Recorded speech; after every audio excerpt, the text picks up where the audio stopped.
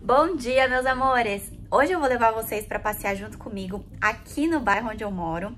Vou apresentar para vocês quais os restaurantes que eu gosto de ir, quais as lojas que você encontra aqui. Vou fazer um mini roteirinho de um dia para vocês quando vierem para cá. Então, eu moro em Causeway Bay.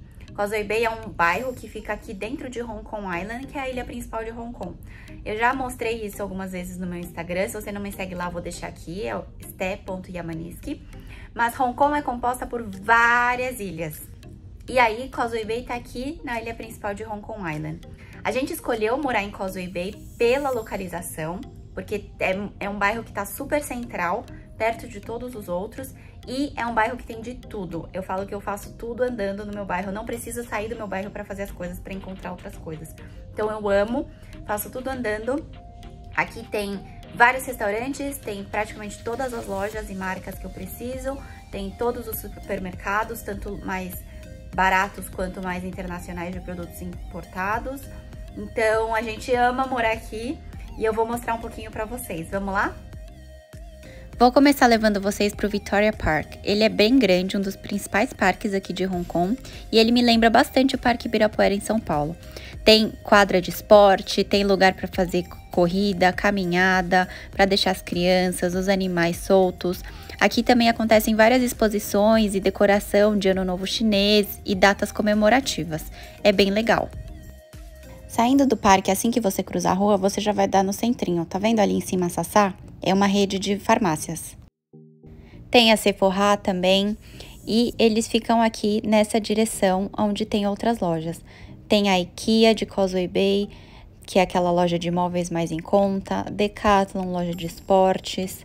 Aqui nesse shoppingzinho Winter House, você já vai ver logo na entrada a Sephora, a Sassá e esse mercado Marks Spencer Food, que é um mercado internacional com várias opções bem práticas, inclusive porções que já estão prontas para você comer assim que você leva. Saindo do Marks Spencer, continua andando, você vai ver o supermercado Welcome, que é uma das redes que tem preço mais em conta.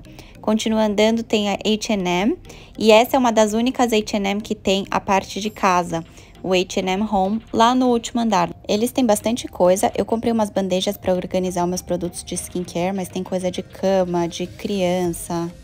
Saindo da H&M, do outro lado da rua tem esse cruzamento onde tem a Chanel Beauty e tem um shoppingzinho que chama Fashion Walk.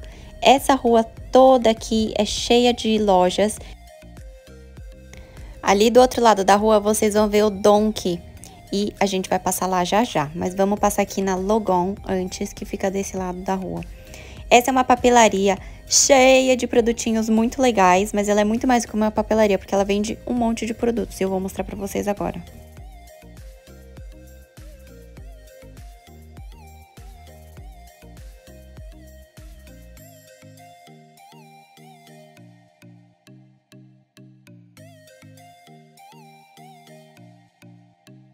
Saindo da loja, continua andando aqui em Fashion Walk. Toda essa região é chamada de Fashion Walk. Agora a gente cruzando essa rua vai dar na Fashion Walk Kingston Street. E aí continua andando, a gente chega na Fashion Walk Food Street, que é uma delícia, cheia de restaurantezinho fofinho, super gostosos. Tem essa parte externa que dá para você sentar, como se fosse um terracinho.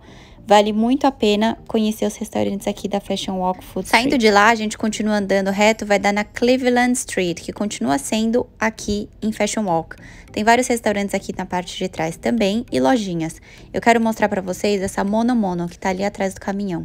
Ela é uma loja japonesa, vende produtos de cosméticos, maquiagem, comida, inclusive produtos da Daiso. Os produtos da Daiso aqui custam 12 Hong Kong dólar, que na cotação de hoje está valendo 160 Japanese Yen e em torno de 8 reais. E lá você encontra de tudo, coisa para casa, comida, coisas para pets e animais. Tem aquele coador de café individual também que vocês gostam. Enquanto eu espero minha comida chegar, eu vou falar de uns lugares que eu recomendo para almoçar aqui em Causeway Bay. Para almoçar ou jantar, né? Comer no geral. Aqui o Elephant Grounds é um café com comida bem rapidinha, gostosa, saudável. Eu gosto também do restaurante que fica na, na loja do, da Moody, que tem umas comidas bem japonesas, assim, uma delícia também, saudável. É, tem o Din Tai Fung e o Paradise Dynasty, que são comidas chinesas, que eles vendem aquele Xiaolong Pao, que eu gosto também. Tem, que mais? Shake Shack, pra quem gosta de, de hambúrguer. Uma coisa que eu amo aqui em Hong Kong é que as comidas chegam muito rápido. Não faz nem 15 minutos que eu pedi minha comida e já chegou. Pedi o salmão dom, que é um bowl de arroz com salmão, pepino e onsen tamago, que é o esse ovo molinho japonês e o salted caramel latte, que eu amo, é uma delícia.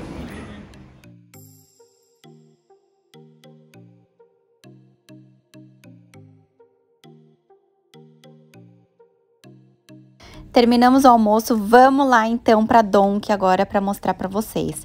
Quem mora no Japão ou, pra, ou quem já foi para o Japão já deve conhecer a Don Quixote. Aqui ela chama Don Don Donki, mas é a mesma loja, é uma rede japonesa cheia de tudo, tudo que você vai imaginar vende na Donki. eu tenho um outro vídeo que eu mostro como que é a Donki lá do Japão. Essa aqui de Causeway Bay é enorme, Vale muito a visita para você ver produtos japoneses, comida, cosmético, skincare, maquiagem. Tem também várias opções de comida japonesa. Tem bentô, sushi, sashimi. Olha esse set de atum com uni, ouriço do mar, com ovas, com salmão. Tem para todos os gostos. Esse daqui tem vários tipos de atum diferente, atum magro, médio, gordo. Tem opção só com salmão para quem prefere esse tipo de peixe. Tem temaki para quem gosta também, eles já são embalados individualmente, pronto para você comer. Você pode inclusive comprar e fazer um piquenique lá no parque. E olha que fofas essas meias em formato de sushi. é um souvenir bem legal. Tem onigiri também, que é esse bolinho de arroz recheado com algum sabor. Tem de atum, de salmão, é, Califórnia e em volta tem a alga. Tem karaage, que é esse frango frito. Tem várias, vários tipos de comidinha japonesa para quem gosta de experimentar. Vale a pena. Tem poke, que, é, que são esses chocolatezinhos. Tem vários souvenirs que você pode levar de lembrancinha. Olha que graça esse mini saquê, como se fosse no barrilzinho de saquê. Esse eu costumo levar para o Brasil, as pessoas adoram. Tem vários tipos de saque para você levar. Ali do outro lado da Fashion Walk tem essa marca coreana Etude House, que vende produtos de skincare, várias opções de maquiagem e tem um preço bem legal. Para vocês se localizarem, a gente está aqui na saída do metrô Causeway Bay E, ali está a IKEA, ali está a Sephora, aqui é a Etude House que eu acabei de mostrar. Aí logo aqui do lado do metrô tem a The Body Shop e tem a Sassá, que é aquela rede de farmácias que eu mostrei. A gente continua caminhando e aqui vai ser aquele cruzamento onde tem o telão super grande e o telão fica aqui na Sogo, que é a loja de departamento japonesa. Essa é a vista do cruzamento. Eu brinco que é o Shibuya Crossing de Hong Kong e ele fica lindo à noite também com as luzes iluminadas. Aqui é a loja de departamento Sogo, mas vamos dar uma, um pulinho aqui nessa rua que fica atrás do Sogo, que é a Lockhart Street, que é uma rua que tem várias farmácias. Então, para quem está vindo fazer compras de cosméticos, maquiagem, é muito legal essa rua porque já tem várias opções de farmácias, tudo uma do lado da outra.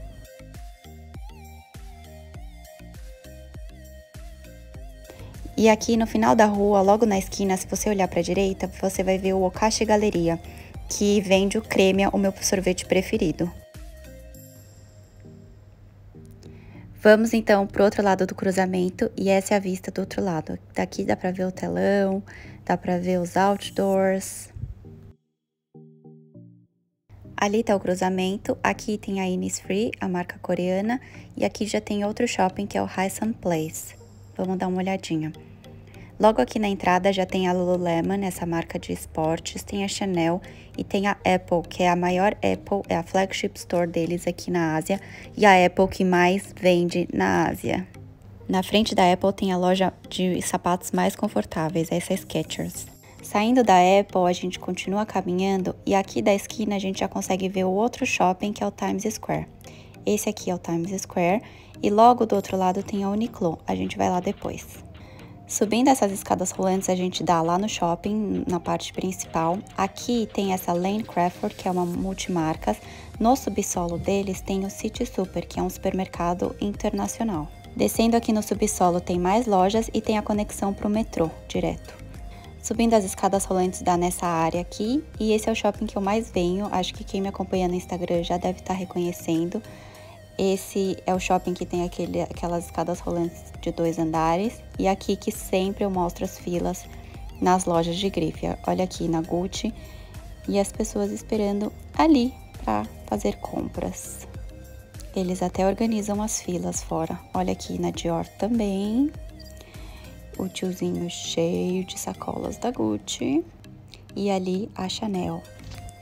Saindo da Times Square, só cruzar a rua já vai cair aqui no Lee Theater, que é onde fica a Uniqlo e essas outras lojas também.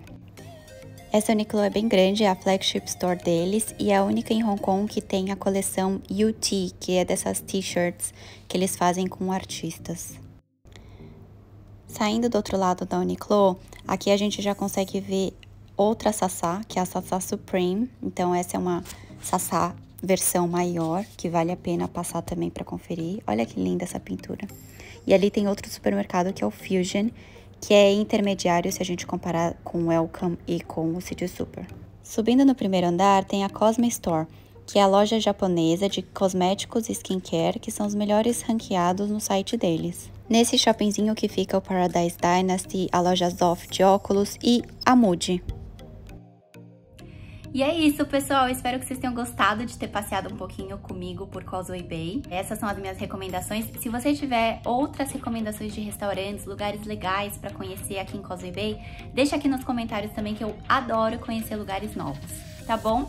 É isso, espero que vocês tenham gostado. Um beijo!